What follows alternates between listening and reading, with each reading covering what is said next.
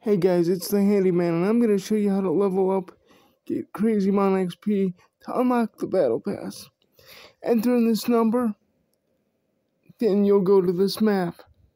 You click this map, of course you make it a private game if it's public.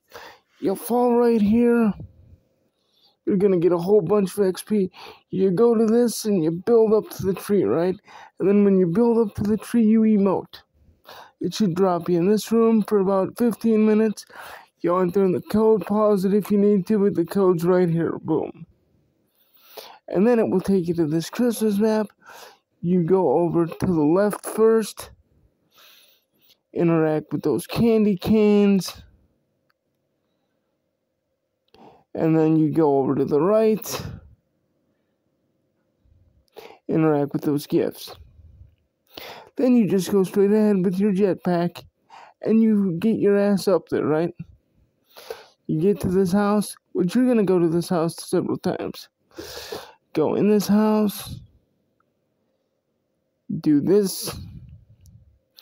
Now you're back down, you gotta go up there to another. See there, there you are. Boom, you're back, and then after you're here, you have to emote in the corner. And then it will bring you to this room where you can kill the chickens and just level up. Like and subscribe. And that was uh, courtesy of the video from Shuffle Gamer.